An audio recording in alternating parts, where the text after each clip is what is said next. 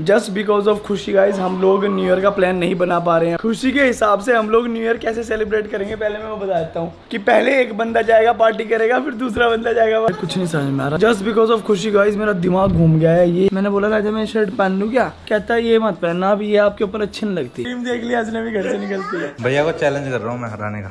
सारे बॉलर थक गए भैया आउट ही नहीं हो रहे इतनी ज़्यादा भीड़ हो रही है मुझे ये सोच लगता है कि यार मुंबई में बंदा दो काम एक दिन में कैसे कर सकता है?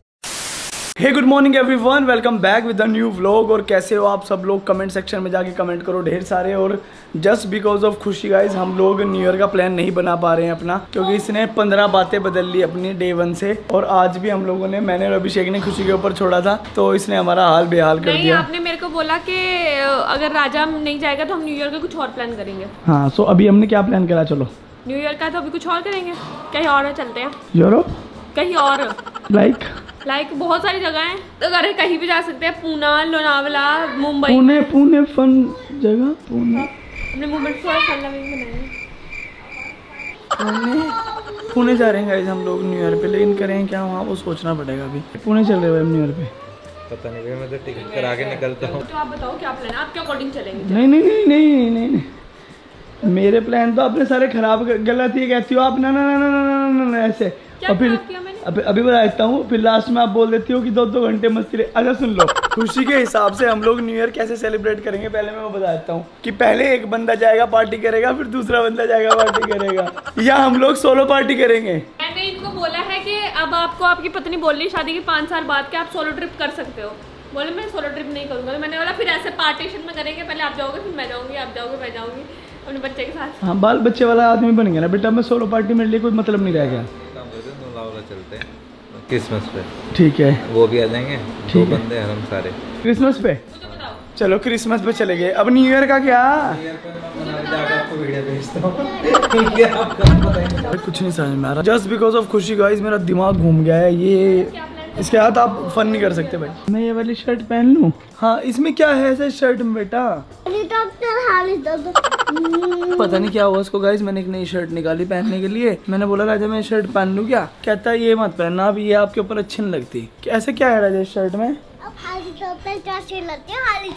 हेलीकॉप्टर हैं? जैसा लगता हूँ। चलो मैं तो पहन के आया एक second so guys I am using one password जो कि स्क्रीन के ऊपर लिखा रहा है। उसका नाम है समर समर और समर का मतलब है ये जो स्क्रीन के ऊपर आप देख रहे हो हम लोग तो जाने वाले हैं समर में। और राजा और हम सब क्रिकेट भी खेलने वाले हैं और फुटबॉल भी। काफ़ी सारे गेम खेलेंगे आज।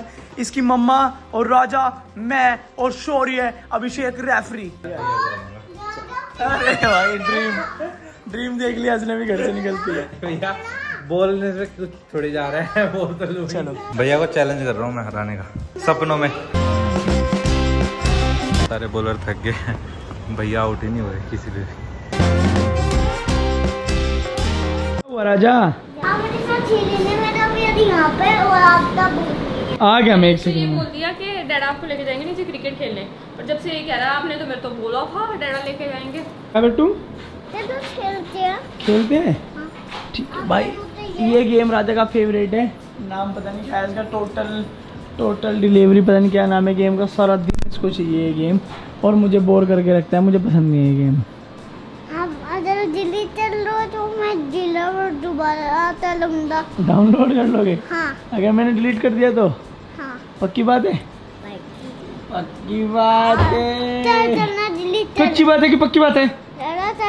ठीक है। सो गाइज़ मैं और दी जा रहे हैं क्योंकि मुझे जाना है। सैलॉन और दी को मैं साथ लेके जा रही हूँ। सो हम लोग फटाफट निकले उधर से हम लोग जिम निकलेंगे। सो गाइज़ एज यूजुअल मैं और प्रिया दीदी निकल चुके हैं मार्केट के लिए और इतनी भीड़ है इतना ट्रैफ़िक है कोई हाल नहीं है। बहुत बुरा हाल हो रहा है। इतनी ज़्यादा भीड़ हो रही है मुझे ये सोच लगता है कि यार मुंबई में बंदा दो काम एक दिन में कैसे कर सकता है? क्योंकि इतनी भीड़ है कि एक दिन में एक ही काम होता है। और प्रिया दीदी मेरी साथी है तो इसलिए मैं कहीं से ऑटो में आ रही हूँ ऑटो में। कम हो गया है। पहले मेरा 52 था। एंड नाउ 50 मैंने बहुत कम वेट कर लिया and I am happy so guys यहाँ पे हमारा खाना चला। क्या बनाया आपने? ट्रैम्पोलिन चलो। कौन सा ट्रैम्पोलिन गाइस इसका ट्रैम्पोलिन देख लो। इसने सारे कंबल एक जगह इकट्ठे कर दिए और बोल रहा है मैंने ट्रैम्पोलिन बनाया इस पे कूदो। मेरी हालत नहीं हो रही कूदने वाले क्योंकि मुझे भूख लगी मुझे खाने का चलो पहले कौन कूदेगा? पहले कूदेगा राजा।